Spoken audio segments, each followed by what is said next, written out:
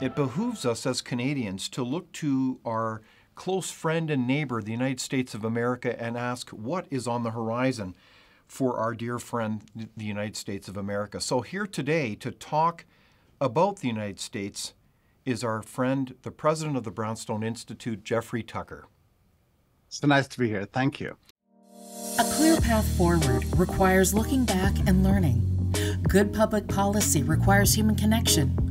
It's a consideration of the facts, applying common sense, and innovation. It's urban, it's rural, it's real life. We all have something to contribute. We all have a responsibility to get informed because there's a little piece of Canada in all of us, isn't there?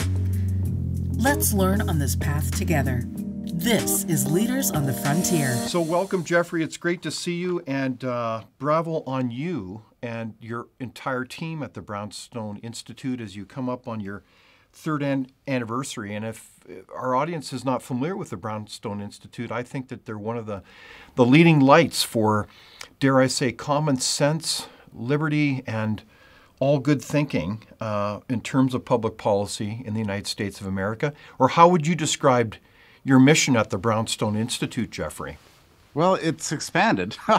Indeed. I have to say, when I when I started Brownstone, I had a sense that there was uh, an urgent crisis afoot in civilization. We'd never seen anything like lockdowns before. Uh, you know, society-wide vaccine mandates, uh, restrictions on travel, uh, closures of churches, businesses, uh, freedom of association, freedom of speech. Everything was everything was trashed essentially, and and I had a sense that it was kicking off some disastrous stage, uh, maybe a decade uh, or more. And and I was right. You were right. So we've we've tried to cover every aspect of this. You know, from from the attack on civil rights to censorship to uh, the vaccines, and and and what is it that happened to us, and how did we get here? Um, there's so many layers and meanings to all of this stuff. There's a political dimension, there's a medical and Mhm. scientific dimension, there's there's a lot of strange things going on, uh, and many many ways to look at it. So that's what Brownstone has been uh, devoted to doing. But it, it's it's all happened in a strange time because, in many ways, there was uh, co- coinciding with the lockdowns and everything that followed. There was also a a strange political purge that was alive, both in, in, in the U.S. and and all uh, Commonwealth countries too, um, to drive out of professions people that were I would call them sort of dissidents um, against the prevailing orthodoxies, and and that is intensifying, and it's it's all over academia, it's in media, in technology, and in politics, and and that is getting more and more intense by the day. I agree. so we're combating that in addition to everything else. Sometimes I have to say, I I'm just grateful that we still have the freedom to write and publish because in a strange way, I can say with a lot of confidence that it was not supposed to be this way. We're supposed to have supposed to have been shut down by now. Wow. And Well, they they haven't gotten their way, and so we're still alive and kicking and breathing for now. Indeed. Well, we certainly admire the work that you and uh, the entire team at the Brownstone Institute do, Jeffrey. And, and I think that, I mean, you're, you're kind of a kindred institute in the sense that we're nonpartisan, but we're really trying to serve the larger nation in terms of bringing a, a perspective and a thoughtful insight on, on what's going on and, and uh, really engaging people to not take their freedom and liberties for granted. That's for sure. Yeah, yeah, yeah. I was So- just watching an interview today with uh, there's this guy named Al Gore who once ran for the Democratic nomination, and uh, yeah, and um, he it was really a startling interview because he uh, because he he's re- he's regretting the existence of the internet essentially, and he says it's it's really Did, very. did he bad. not invent the internet, uh, Jeffrey? Oh, I hadn't thought about that. That's a good point. Remember that one? I forgot about that. Yes, he invented. He the did not. In, he did not. For the record. No, he did not. But he says, he did. but he's re- he's regretting everything about it, Mm-hmm. and and saying that um, you can't have a democratic society so long as there's uh, such a wide diversity of opinions on everything, I beg your pardon? What? Yeah, that's what he said. He said he said uh, democratic society requires a consensus on core truths that we used to be able to take for granted that the, they were given to us by media they were given to us by government and Oh, everybody my. agreed on them and within that framework then we could debate and discuss he said but now you know anybody can just find out anything and he said he said uh, people are just getting on the internet and chasing going going down rabbit holes and ending in echo chambers he says Isn't that interesting? and it makes you realize just how severe the threat really is of censorship these days. Agreed. So we're going to go down the rabbit hole together, Okay. Jeffrey, holding hands as we look to the 2024 year.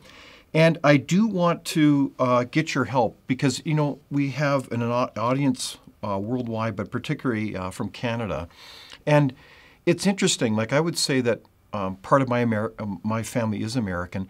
And I would say that there's an element, and this is very humbling, even though we're close in proximity to the United States, we're kind of in an information bubble, I would say, as we get a lot of the mainstream media out of the United States. So I'm going to dare to, with your kind help, if you can give us a bit of a primer on the state of the United States as we go through, um, you know, kind of catching up on, on things. Because this is going to be a pivotal year, I think, for the United States and dare I say for Canada, uh, by virtue of that, and, and certainly many parts of the world. So I, I need your help. So last time we spoke, we talked a lot about reflecting about COVID 19 and, and kind of rebuilding and renewing society. And that was a, a very, I think, a very insightful discussion. And I think one of the punchlines out of this is that, wow, we have a lot of the receipts and the data um, and then some, and we'd like more data.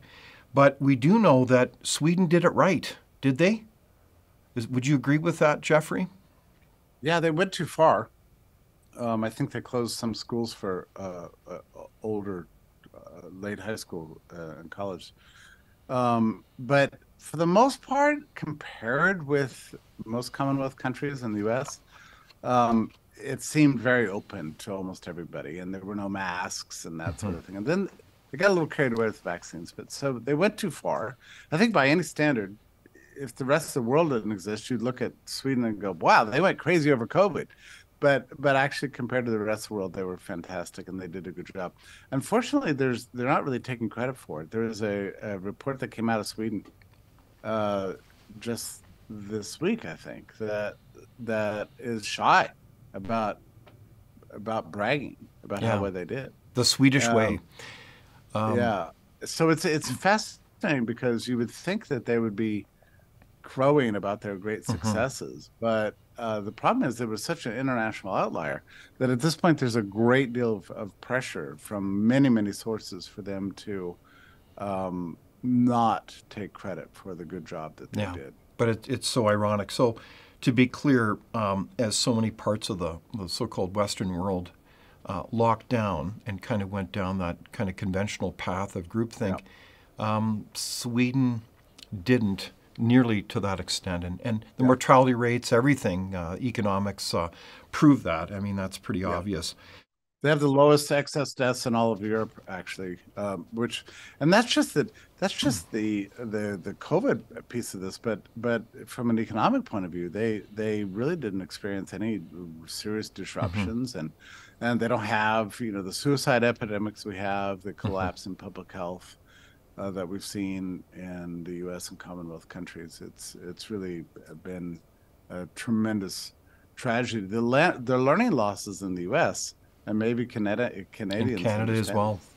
Uh, they, um, you know, our our students have lost at least two years, but it seems to be every time they take a measurement, it seems to be getting more. So it was two, then it was three, then it was 4 So we're uh, we've devastated a whole generation. No, it, it's it's really really sad. And I was just talking with a teacher the other day who was saying that um, they have so many nine-year-olds in their class that really behave like five-year-olds. It's very sad because that socialization uh, did not happen. So um, we've got a lot of lot of work to do to catch up and, and look after the kids amongst so many others. So one of the things I did want to highlight is some of the extraordinary research that Brownstone yourself has have been involved with, not the least of which has been working with um, associates like Naomi Wolf on um, really looking at the hard data um, the information, really peeling the onion to the nth degree on really um, the state of vaccines and their safe. Are they safe and efficacious, and really getting down to that kind of data around the impacts on people? Um, is there a way that you could summarize this, Jeffrey, and just highlight that? Yeah, there's usually three standards you use for any kind of medication. One is necess- necessary, the other is safe, and the other is effective. Uh, the problem is that the COVID 19 vaccine fails on all three fronts, more so than any single uh, medication, probably ever, certainly vaccine, but even medication ever approved by the FDA. Sorry, can you repeat that? Uh, necessary, safe, and effective. Okay, so uh, the necessary point is that COVID was never a threat to the dominant working age population of healthy mm-hmm. people and virtually zero uh, threat to kids. Um, so there's that. It was never necessary. I mean, you could argue that it was necessary. A, a working vaccine would have been a valuable tool mm-hmm. uh, for for elderly people who were infirm, who were actually in danger.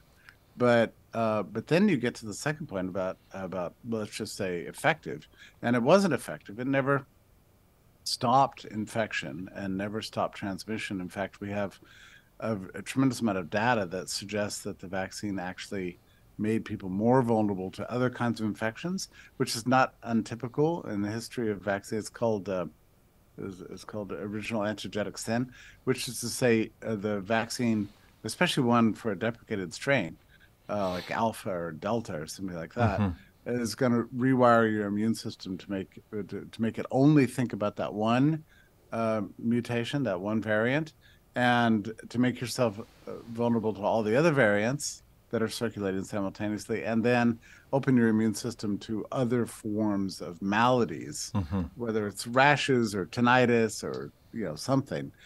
So there's that, and then uh, then you have these mystery um, myocarditis outbreaks that are all over the place that are leading to grave injury and death, and and we've never seen anything like this in the vaccine world. I mean, it, it puts to shame you know every other uh, vaccine that we've we've ever had. When I was a kid, they tried to get us all to take the vaccine. This was sometime in the 1970s. Tried to get everybody to take a, a vaccine for the swine flu, and it turned out that there were just a handful of reports mm-hmm. of um, of injuries and fatalities from this, and they called it off instantly. And and I, I remember that my vaccine was scheduled in the public school and I was terrified of it. And then they just said, oh, we're not going to take it. And I was thrilled, right? So mm-hmm. they're not doing it this time. Um, uh, because the standards have dramatically changed. The other problem is, and we can get into this or not, but the COVID 19 vaccine um, really exists under different kinds of level of regulatory approval from any yes. vaccine in history. It's uh, the so called uh, emergency use authorization. But even aside from that, it was authorized as a military countermeasure. Yeah, uh, so, so it, was, the, it was kind of a workaround to the, the, the typical process that we'd envision. It yeah. was a military um, regulatory framework that was used. Right. So it was it was neither necessary nor safe nor effective, and yeah. this is a major problem, and it's a huge scandal. In fact, there's pretty much a, a, a taboo around this topic. I mean, for the very first time in our whole political season in the U.S., last night was the first night uh, in in all four GOP uh, debates that the subject of uh, the vaccines came up at all. And even then, you could almost feel it in the room. This this sort of feel of like, oh no, what's going to happen now? You know.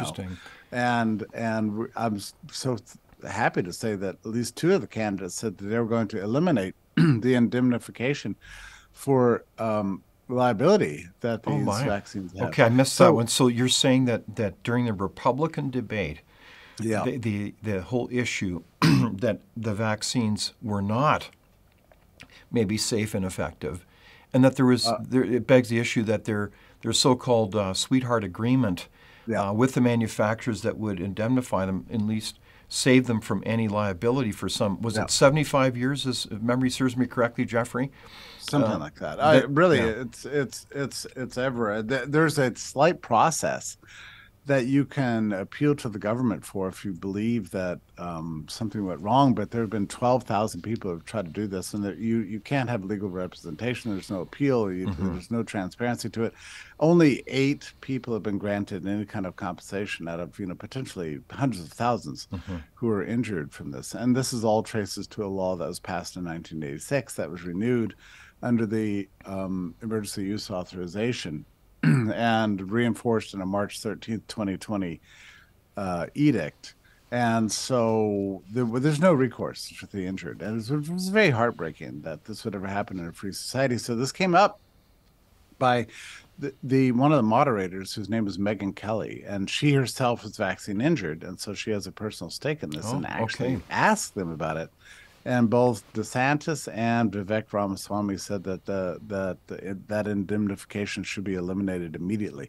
Now, it's a long word and it sounds complicated, but the point is that it's very likely these companies would not uh, would not be in business if if it weren't for the indemnification. They would their stocks would fall to zero, and they'd probably be instantly. Uh, most certainly, they'd be instantly bro- uh, bankrupt. Indeed. so this is a this is a big story not only in the United States, but you know, the, the, it'll be interesting to see how those floodgates open inevitably. Uh, as they say, the truth will set us free, and um, so that will be fascinating. And what's also interesting is this is turning into a, uh, frankly, a, a, month of bombshells. Uh, we all heard about Elon Musk's acquisition of Twitter, or uh, formerly Twitter, now X, was essentially a crime scene and we know that there was the release of the Twitter files, and he assigned these to some pretty crack journalists, including uh, Matt Taibbi and, and uh, Michael Shellenberger, among others. And what was fascinating is that we learned a lot about the receipts around the um, so-called censorship industry, the the uh, emphasis that governments were directing social media companies to ironically squelch the kind of information that we're talking about uh, yeah. regarding COVID 19 instead of enabling um, healthy, open debate to seek truth and uh, in service of uh, people. They were doing the opposite. I mean, it's just stunning. And now we've got almost like a, a second revelation of bombshells um, related to wow, it wasn't just kind of half measures of censorship. This is a full-fledged complex. You, you've mm-hmm. you've referred to it several times, uh, Jeffrey, as the kind of the, the censorship industrial complex. Can you help us yeah. understand what's going on there? I think a lot of Canadians are still, um, pardon the pun, but very much in the dark on this yeah. entire topic. It's it's really yeah. hard to believe. It's night. A judge even described it as 1984. Yeah, the we have a First Amendment in this country that says uh, Congress can make no law abridging the freedom of speech, which by Congress means government. So the government cannot actually tell you what you can and cannot say, and cannot tell companies what they can and cannot say. So uh, what happened was they started uh, developing a lot of these agencies started developing um, new agencies, and those new agencies were tagging third-party uh, nonprofit organizations, universities, foundations other research groups, volunteer groups that related contracting out with the FBI, with the Cybersecurity Information Security Agency, and many, many other agencies. And we've seen maps of these things, and they're the most complicated maps you've ever seen. So, like we're talking allowed, real organization charts of like yeah. 67 alphabet bureauc- yeah, bureaucratic organizations, right. right. And what this allowed was what they called switch switchboarding. So you would just kind of move between the organizations and send out threatening emails, uh, have meetings, regularly scheduled meetings, embedded uh, employees. Twitter had many, many FBI agents embedded within its ranks. The FBI even paid Twitter uh, to employ them, mm-hmm. so actually paid the salaries of these people. So they give Twitter a subsidy, and then Twitter would in turn flip that over to the employees. And uh, what it what it amounted to was a kind of a nationalization of social media that began uh, in earnest, really, uh, sometime in and the early of uh, 2020, uh, sometime in say February, January, February, mm-hmm. and it covers everything. So it's Google, which means YouTube, and it's Microsoft, which means LinkedIn, and then it's uh, Meta, which means Facebook and Instagram, mm-hmm. and then also included in that is other things like Pinterest and and lesser known things like your neighbor. I mean, there's all these social Yeah. media things that they they had it covered entirely, and and anybody who was dissenting against this and allowing uh, free, open debate about about lockdowns, about vaccine mandates, about masks, or anything, uh, got put on a list. And one of them is a social media company called Parler. Uh, really got going Yes. and- Right. in 2020 and and uh, the FBI uh, leaned on Amazon to pull the plug on the company. So they were renting server space from Amazon, and the next thing you know, just one one day, the next they were out of business. So they they really were trying to consolidate and monopolize the information. So, you know, if you wondered over the last four years if there, if there's something strange going on with the media and what you see, uh, the things you search for, how come you can't seem to find Yeah. Exactly. things that are different from from from what the mainstream believes? Mm-hmm. Uh, this is the reason. It was all a kind of a, a construct. It was a Mm-hmm. it was a, a central plan to control the public mind, The whole thing. to get everybody on board yeah, with this. the whole thing. And and so, yeah, it's a stunning revelation. And I, I admit, like years ago, I mean, there was, I mean, this is goes back through history. Those in power want to obviously control information of the masses. But this is a stunning revelation, and the facts are there. It's not like some kind of quote conspiracy theory. I mean, ironically, the ones who are always pitching and trying to dismiss people um, who are researching this as, conspir- as, as, as conspiracy theorists are obviously the ones who are up to the conspiracy. Um, and so um, this is kind of a game changer, is it not, uh, Jeffrey? As we- is, and we've got many lawsuits that are brewing about these things, and they're and there's they're making headway at various levels, Mm-hmm. uh, and in the lower levels and the appeals levels and this kind of thing. But the strange thing about it is that despite these lawsuits ongoing, they're not really making a difference in Mm-hmm. slowing down. Uh, how much censorship is going on even right now? So we don't really entirely have transparency. So we don't actually know. But I can tell you, I had an interview taken down from YouTube the other day. It was an innocuous uh, interview, lasted an hour and a half, and it wasn't even as dicey as what you and I are saying right now. And and it was it was removed from YouTube within uh, within 24 hours. And I think this is about the 12th interview I've had removed. Uh, so, Oh, my. you know, it, yeah, and this is YouTube, which is owned by Google. Google's the most important Mm-hmm. uh, technology company in the world. is Alphabet, Mm-hmm. and but the CIA is definitely embedded there. And I, I'm sorry if you know, I, I feel even awkward saying things like this, even though I know them to be for a fact true. But if somebody said to me five years ago, "Oh, Google's Yeah. controlled by the CIA," I would have said, "Well, you're you're a crazy person. That's a private company. That can't Right. be true." But what we've seen is this blend of of government and corporate power into one single kind of hegemon that is really trying to control what you Mm-hmm. Wow. think and believe.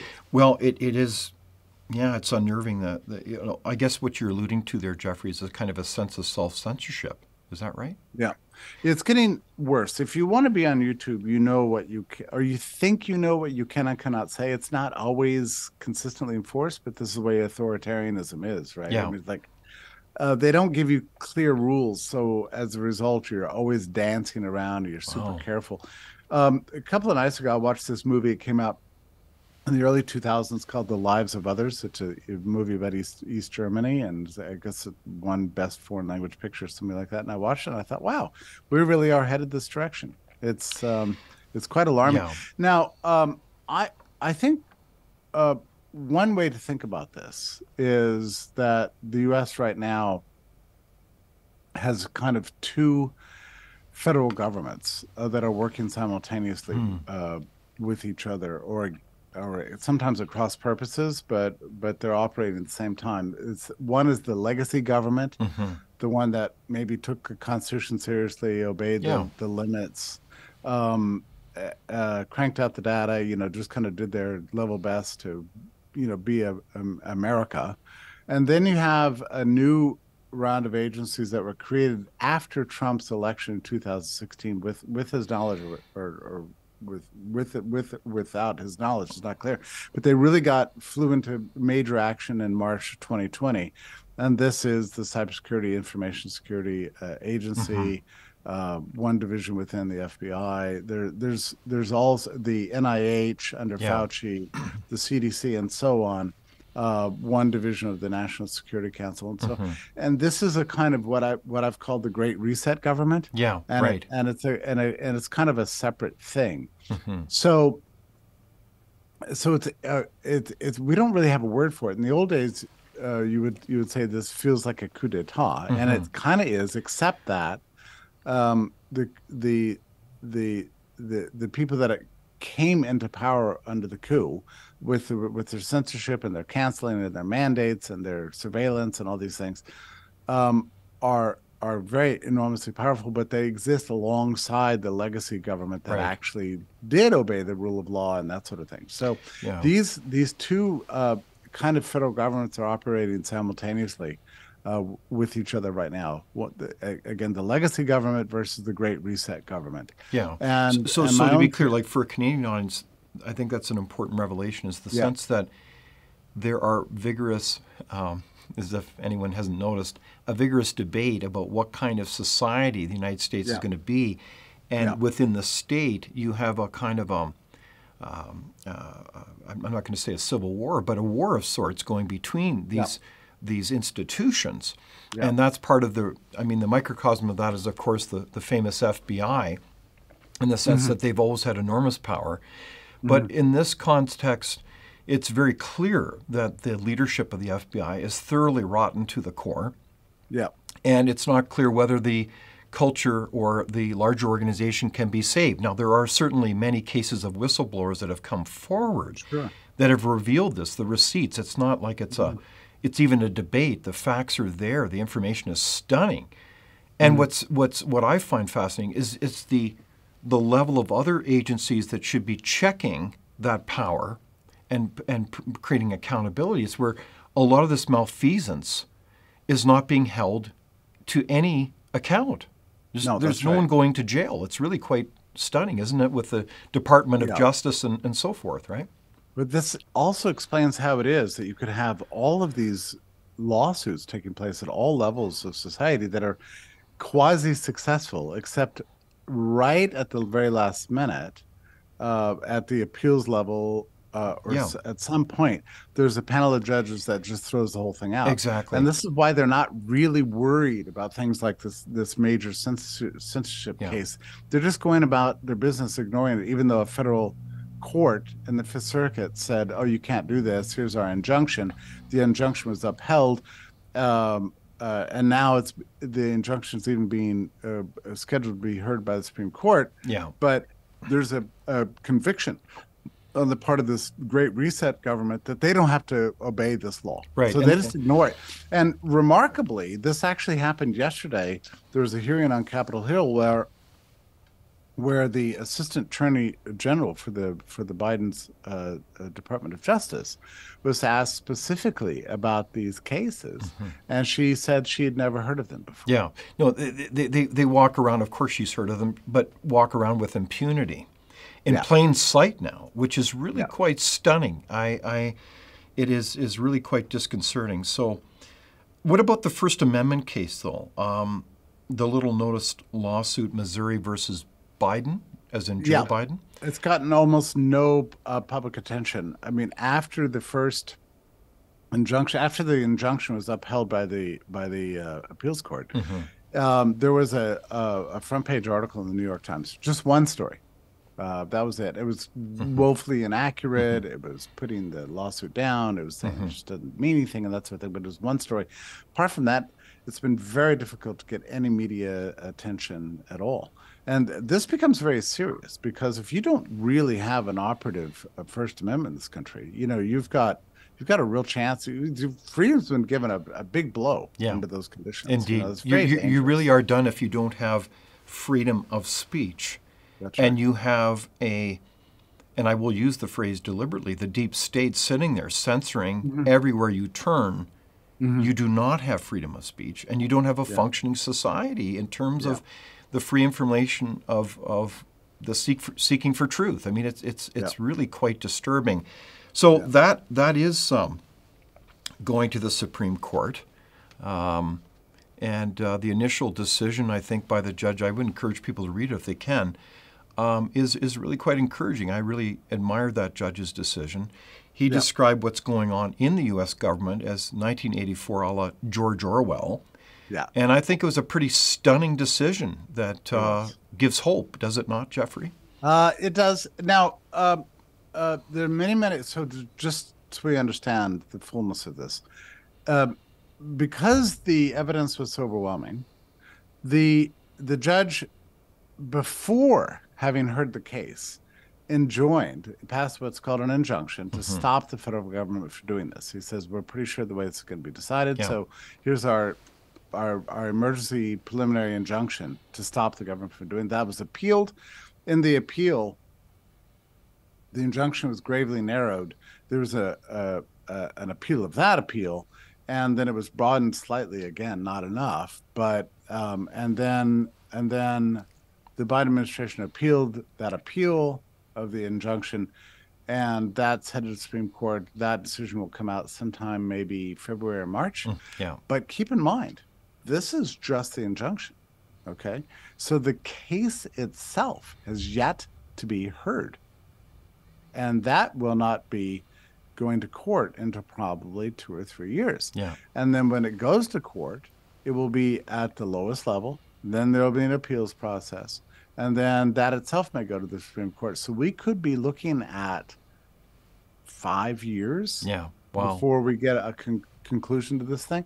Meanwhile, you've got all these government agencies still working very closely with all the social media um, and and training all these employees in these companies to kind of comply. yeah. So, you know, I I'm optimistic in a sense, Mm-hmm. um, but at the same time, we shouldn't be having to go through all this stuff. Yeah, This is no, crazy. it's it's outrageous, and I would say that, I mean, the the whole revelation that you've got sixty alphabet agencies working hard in concert as a team to censor everything that moves to political ends is is incredibly disturbing. It is 1984 there, and it would make the CPP, the Chinese Communist Party, blush yeah. when it comes to what they're well, they're trying to pull off. and this is what they want to do. And what's strange about it is that you know all these lawsuits are designed to kind of say, "Hey, look, you can't do this," and then the appeal from the Biden administration is always like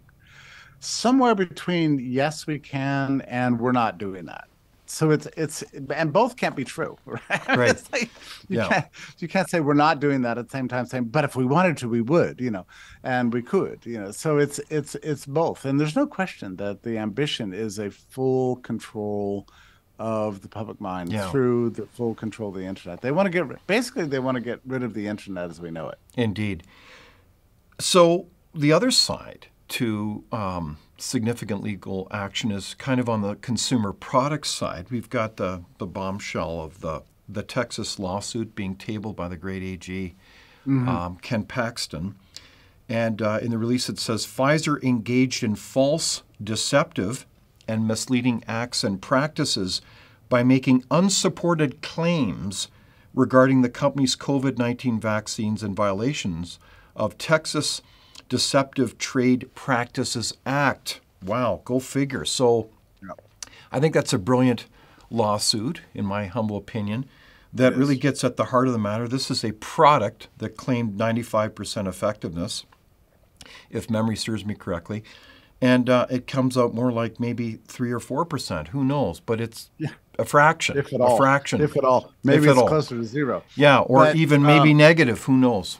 and you have to consider well there's a number of things about this uh, just so we understand it's true that these companies are indemnified from um, from any kind of liability for the damages but they're not free under state law to just um, make whatever claims they want i mean there's still we still have still is a country of laws so if they're claiming something very effective and under inter- interstate commerce um, uh, uh, a state says you're in violation of our of our consumer laws. You can't actually engage in deceptive trade practices. They actually are very vulnerable.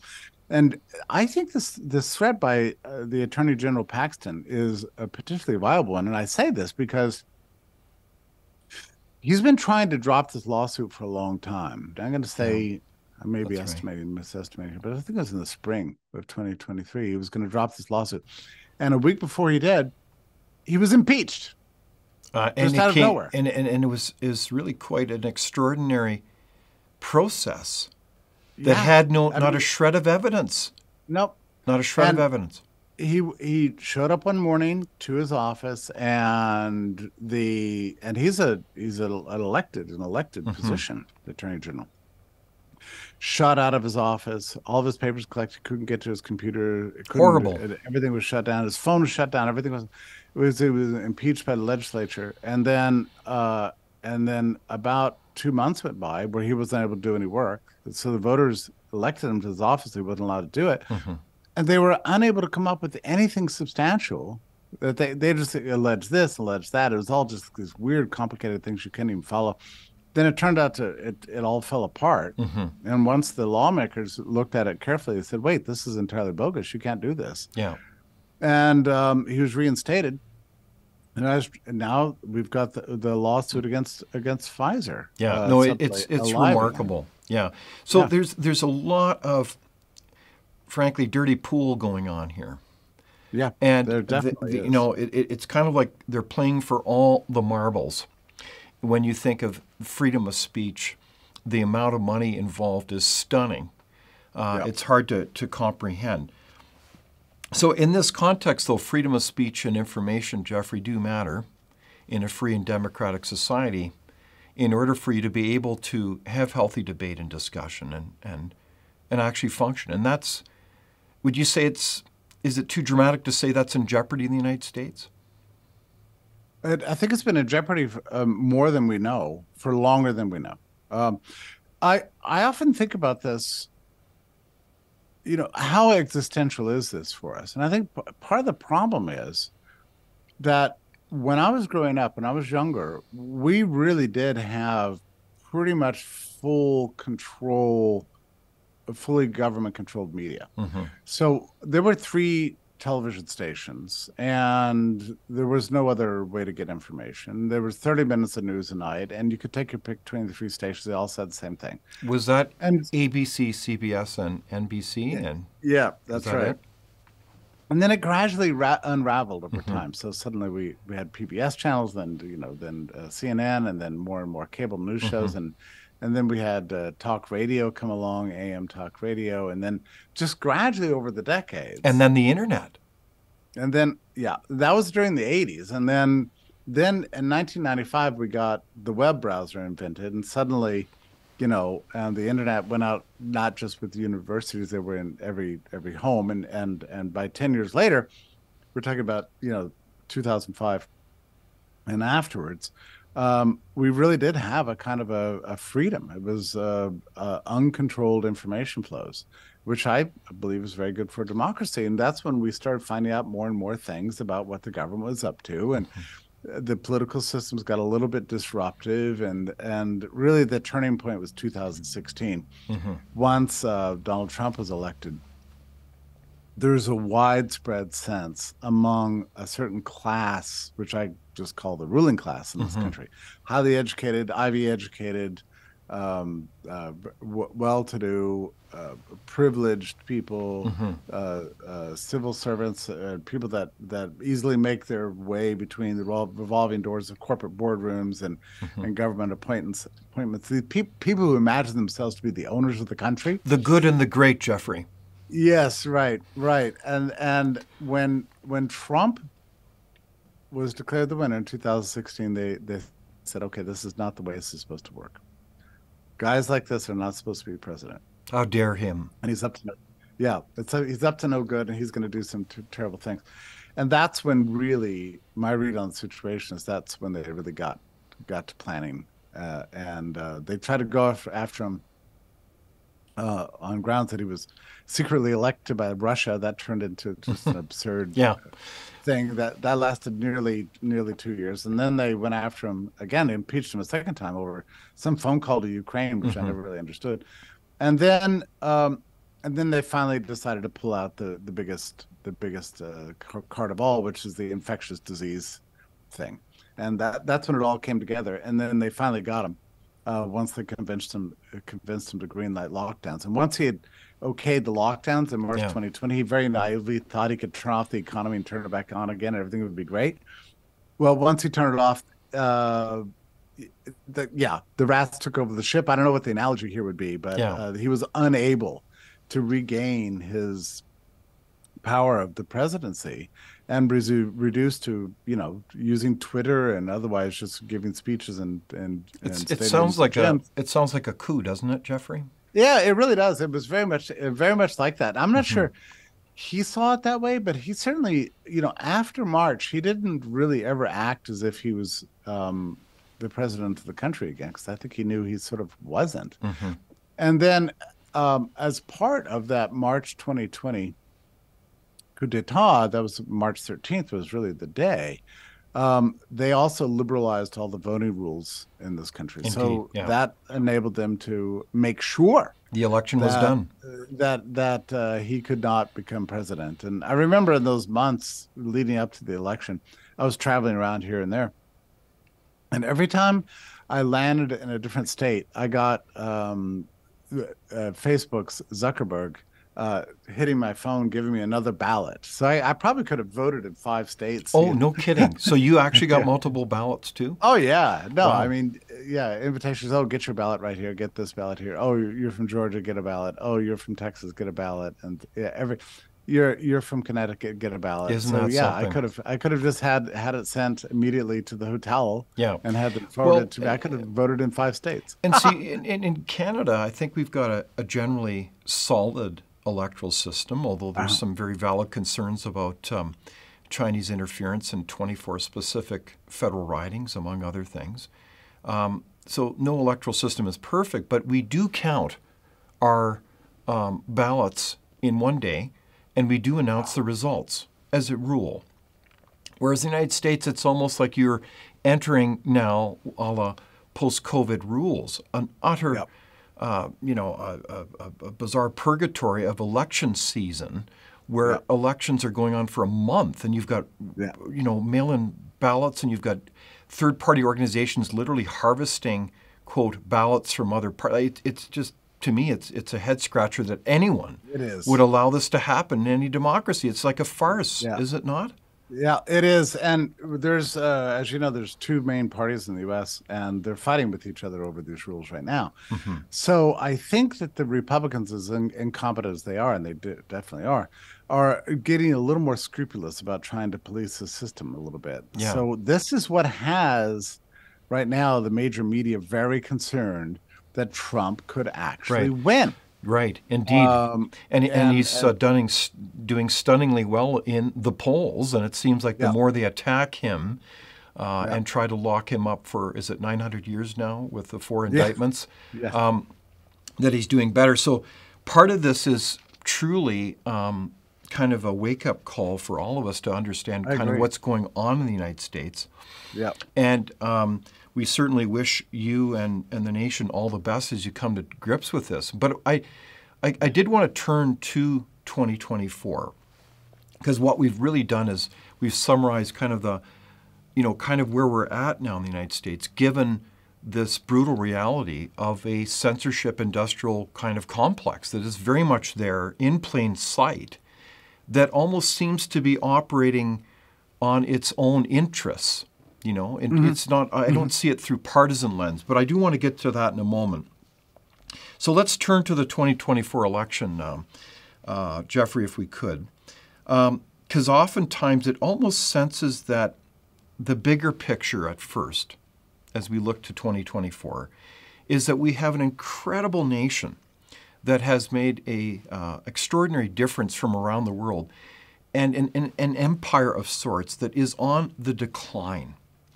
As we look at the stunning levels of deficits, um, uh, I I mean, and and, the, and you know, debt is is incredible. Like there's even talk about the de-dollarization in the world. Like just as the British pound was the um, the uh, reserve cur- currency, you know, it's almost like someday it looks like conceivable that the United States will lose that privilege that it that it you know is is so unique.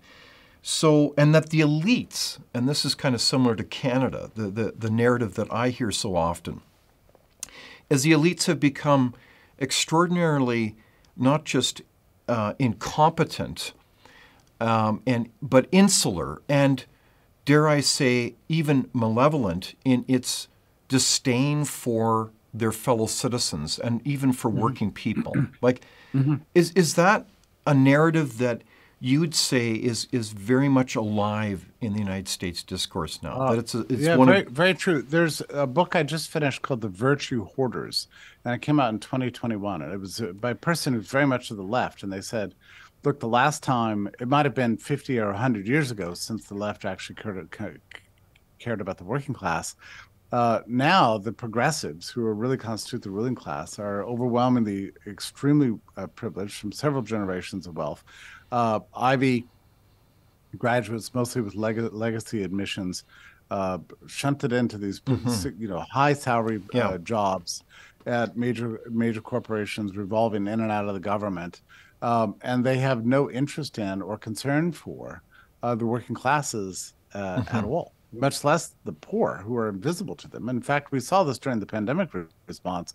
They wanted to hide in their in their homes and and uh, stream movies in their pajamas and get Yeah. paid six figures yeah and and and have the working class to just bring them food, drive the trucks, the truckers. fix, yeah, fix, fix the plumbing and that sort of thing. It's just this extreme uh, class myopia on the part of our rulers today. These are unelected people. They just have inherited their position, windowed their way in, but they are a rock solid uh, a class of rulers Yeah. that has, has it- that has disdain for the rest of the country.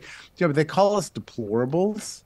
Um, they hate our our our. They can't stand Elon Musk. I mean, Elon Musk is facing like Wow. eight different federal investigations just since he took over Twitter. You know, for every ground. I mean, one of the grounds is that his company, uh, um, uh, rocket company, whatever it's called, um, did not. Uh, maybe it was Tesla even did not hire enough uh, refugees. Oh, SpaceX. Well, Yeah. SpaceX was not hiring enough refugees. Utterly bizarre. Like, Yeah. well, So they're yeah, going I after mean- him. The Securities Exchange Commission is Mm-hmm. going after SpaceX because he so supposedly has not hired Yeah. sufficient number of Yeah. refugees. Yeah, and now you've got this full-scale advertising boycott on the part of Yeah. uh, the Disney and all the rest. Yeah. Yeah. So it's it's extremely intense right now, and and and this interview is taking place in the midst of this kind of this wild, this cold war uh, that is going to consume us uh, for a very long time, certainly through the rest of the decade.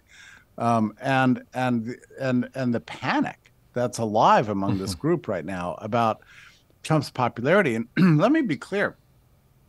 Uh, I'm not a, a, a, a big f- fan of Trump. In fact, I wrote a whole book very critical of him, you know, back in 2016. So I'm not like, But you're Yeah, not a partisan. You're, you're- yeah, I yeah, but I do think that we should live in a democracy, so that if if a, a plurality of vote, voters uh, favor this guy as president over the options and his policies, then you know that's the system under which we Okay, live. but We're but this is to get but this is the the tactic that's being used. It's not about Donald Trump.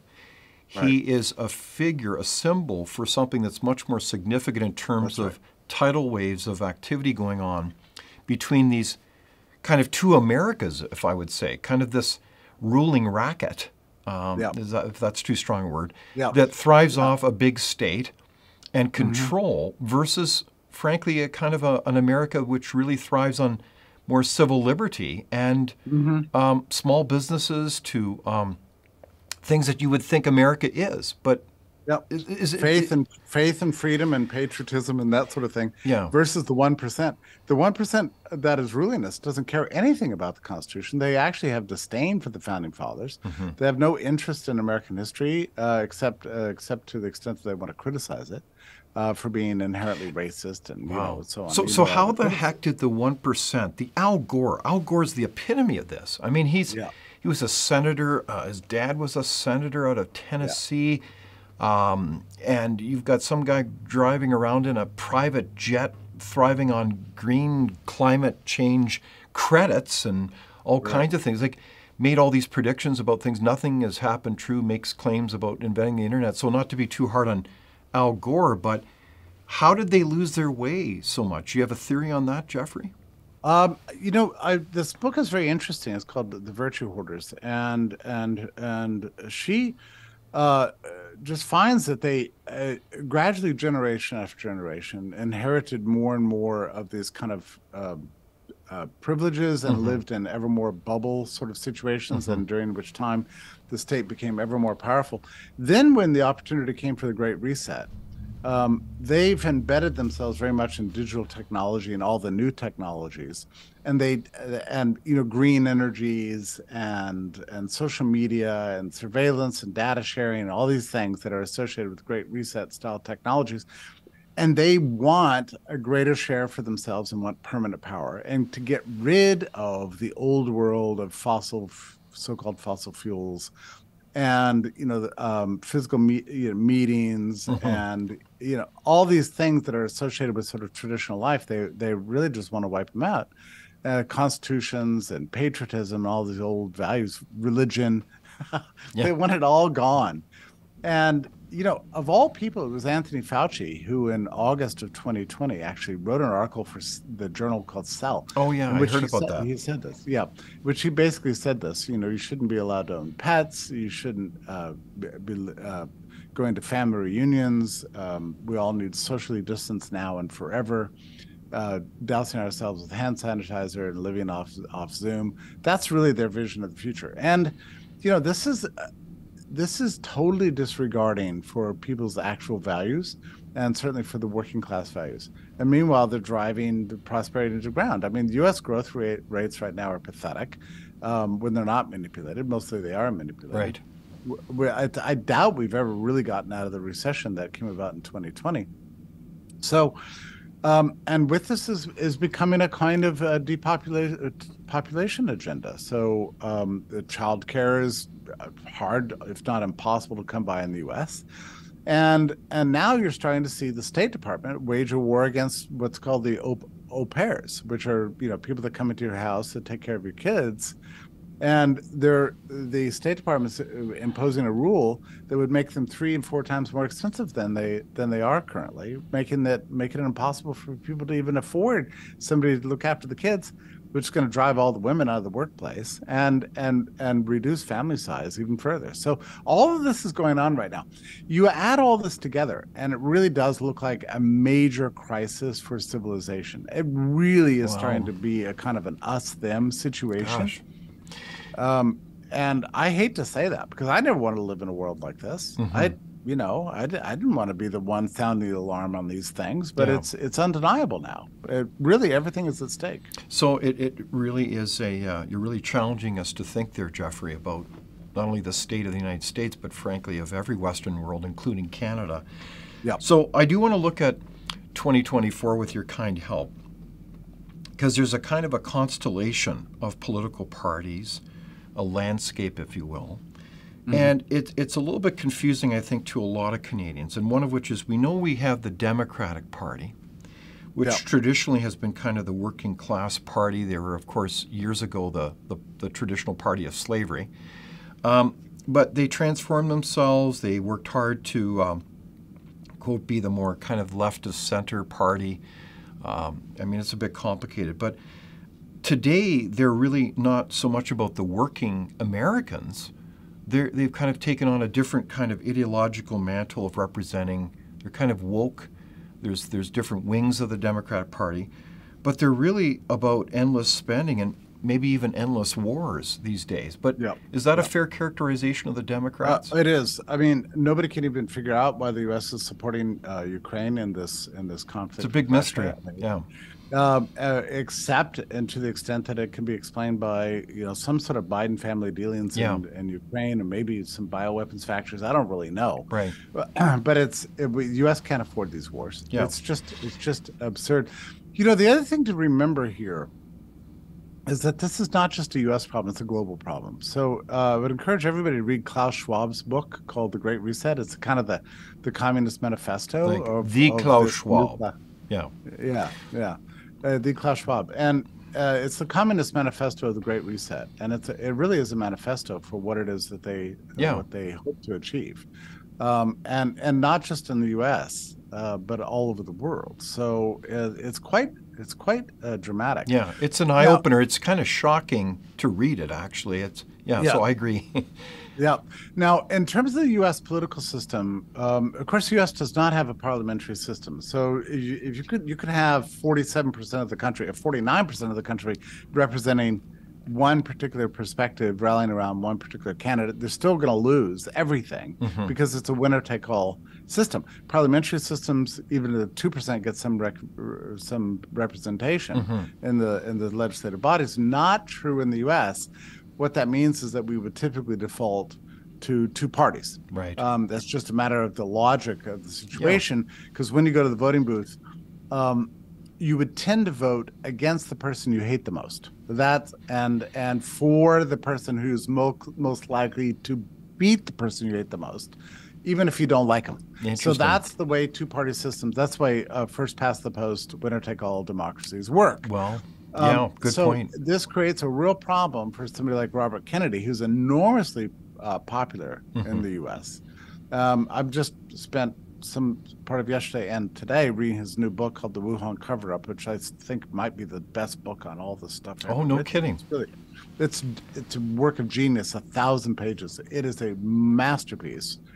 Um, he's enormously pop, uh, popular, but he has to run on a third-party ticket because he was excluded from the Democratic Yeah. nomination Yeah, process. ironically, and, So- and he, and he would be kind of considered part of the royalty of the Democratic Party. Ironically, yeah. Right. So he's looking at an independent run. Now, the main job of an independent third party run in this country turns out to be a kind of a spoiler, ruining the election for either mm-hmm. Biden or Trump. Nobody can say for sure which one is more powerful, but what you see, see now happening is more people looking at third party runs as a way of blunting the impact of RFK. So it's getting extremely complicated. I can see why you're asking Wow. these questions. It is complicated. So we could have three or four uh, viable candidates running for third party, none of whom stand any chance of winning, but they're competing for who can spoil the election for the other guy. Wow. And how that turns out in terms of the polls, uh, you tell me. And you see these these things saying they ask voters questions like, "Well, who do you favor, uh, Trump, Biden, or RFK?" And RFK comes out on top, but that's that doesn't those kinds of polls are not meaningful in terms of what uh, what they are going to mean operationally in terms of the election because you might love RFK. Let me see how this would work. You might love RFK, but really, really despise Trump, and you might, f- or despise Biden. You might figure the only way to beat Biden is to vote for Trump. So you might not even like Trump, and you love RFK, but you're still going to vote for Trump because you think he's the biggest hammer you can use against the person you hate the most, which is Biden. The polls are rarely, if ever, constructed this way, so we don't actually know how f- people would actually vote once they get into the voting booth. That's It's, it. it's complicated. Yeah. But to be clear, we've got the Democrats, and of course Joe Biden's ahead of that, and then we've got these dynamic of independents that you've summarized so well, including Bobby Kennedy Jr. to boot, and then you mm-hmm. have the Republicans, and the Republicans are confusing because it seems like there was a reverse takeover of sorts over the last several years by Donald Trump, the so-called "Make America Great" movement, which is about saying, well, you know, all this governance that's going on is really kind of um, outsourcing manufacturing jobs to Timbuktu, including China. And, you know, you're not really governing this 1% that you so adeptly described. You're not really governing for the American people. You're, you're driving us into the ground. Uh, you're taxing us to death. And um, we don't want these endless wars that our kids fight in and die in. And meanwhile, um, we want to build the United States. And I think so they've taken over really the Republican Party. So that you have a lot of Republicans that would be known as RINOs, right? They're they're kind of they claim they're Republicans, but they're really more like Democrats. Is that how my am That's I right. understanding There's a right? huge split within the Republican Party between uh, between I would say the what what you're calling the MAGA people, which is the Trump people. Then you've got the RINOs, who are the Republicans in name only, who can't stand Trump. Then you've got a third faction, um, which is represented by somebody like uh, DeSantis Mm. um, uh, or Ramaswamy, you know, uh, who don't don't like um, Trump uh, because they think he's too accommodating, right? Sorry, So too accommodating. In, yeah, Okay. to uh, to deep state interests. I mean, you know, is Trump the green light at the lockdowns and interesting. um, and has a great deal of affection. He will not criticize the vaccines and so on. So uh, there's people that are uh, that are like Trump, uh, in these terms, might be a, a more moderate character. Um, uh, relative to somebody like uh, DeSantis or Ramaswamy. Isn't that somebody like fascinating?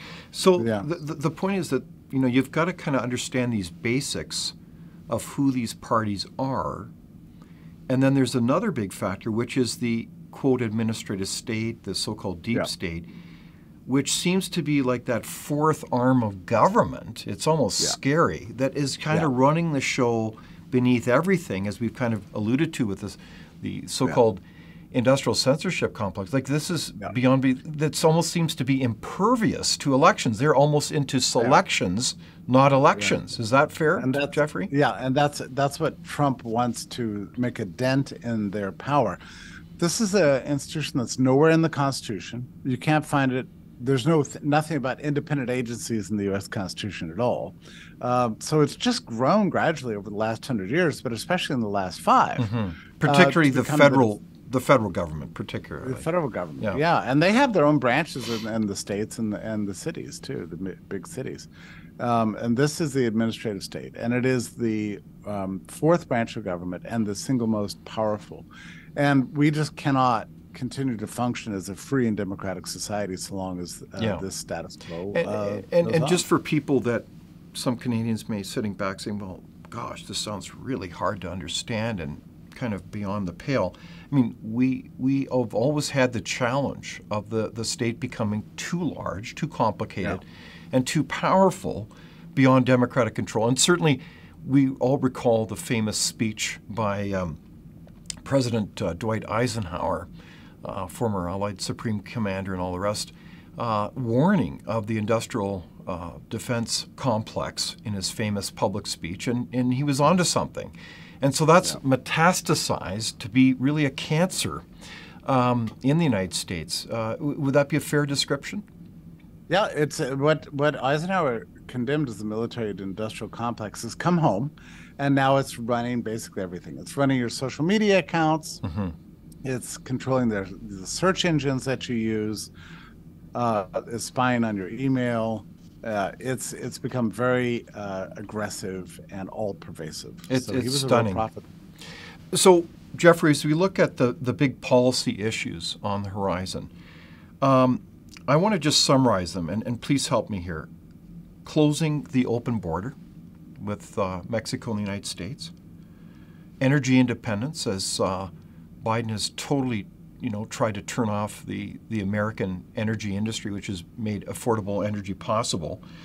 We've got issues like stopping the censorship and wokeism, especially including the universities. We've got stopping the spending and the politic, the politi- pol- you know, the endless corruption and politicization of so many issues. And uh, we've got the cutting of the deep state. We've got, you know, including the FBI and dealing with what is it called? China and Iran. Is that a fair sum- summary? Yeah, um, and there's a lot of uh, American political forces right now that are anxious to externalize the threats. Um, so it's always about Russia, Iran, China, Yeah. Mexico, blah blah blah. But really, uh, what people should be talking about the is, is the the enemy within. That's that's that's the main problem. I can promise you, as bad as the CCP is in Iran and Russia and Mexico, uh, and their fent- fentanyl or whatever, the big enemy for the American liberty right now is right here in, in the United States, and that's what we need to be talking about. And we're talking about that more and more. I'm glad to say. Okay. It's, it's becoming more of a more more of a, a debate now. So there is a sign of hope. And, and would you say then one of those practical signs of hopes is an extraordinary project called Project 2025? I, I know that the Heritage Foundation is all over this in terms of both providing a very concrete roadmap on policy, Yeah. AJ, the actions that a government, a new government would take, likely a, a Trump administration. Um, but it's the list of people. It's not just looking at the action of policies. It's actually creating a list of 15 to 20,000 people that would come in and right size this embedded, dare I say, cancer within the United Yeah. States. Would you think that's It's- part of the solution? It it is, but that itself is a real challenge because you got to figure that if they don't succeed, uh, these people will never work again. I mean, a lot of people who worked for the Trump administration from tw- 2016 all the way to 2020 were not able to get their jobs back, even Wow. Ivy League. So uh, you're univer- saying that this is like, so this is how serious this is. These people are going full bore at anybody who opposes them by shutting them out of job opportunities, tr- literally putting them in jail. Like this is very Yep. serious time now. Uh, yeah, out of academia, out of the corporate world, out of everything. So the people who are going to work for for Trump in the second Trump administration, um, it's the last job they're ever going to have. So they've got to do a good job. So we really are at an existential sort of turning point right Wow. now, and I don't know if Trump's going to be able to attract. Um, my, my mind goes two ways on this. One is he's not going to attract a lot of great talent. On the other hand, everybody who does good work for a second Trump administration will definitely be committed to winning. Wow. So that's a, another way to look at it. Isn't that something? So 2024 is a very significant year, Jeffrey Tucker, and we're going to keep in touch um, as we continue to work through this. And I really appreciate your help to understand the landscape of the United States, its complexity, and its significance. And we certainly wish you all the very best, and we thank you for all your leadership and work. Well, thank you. We've uh, got the, this is the challenge of our generation. We've got to get this right. And I believe there is hope that we can do it. We can recover freedom. We can re- re- uh, rediscover our Constitution, and we can right this ship. Uh, we have to believe that. I think it is possible, but it's going to take a lot of work, a lot of determination, and a lot of moral courage Well, get right. well said, Thank Jeffrey. you for Thank watching Leaders on the Frontier. We're a nonpartisan think tank. We explore ideas, policy, and practical solutions that can make a difference in the lives of Canadians. We do not accept any government funding. We work for you. Thank you for supporting Frontier. Visit fcpp.org to give. While you're there, be sure to check out our latest articles and research. Without open discussion and debate, you're not thinking, nor are you free. Comment below. We'd love for you to join the conversation.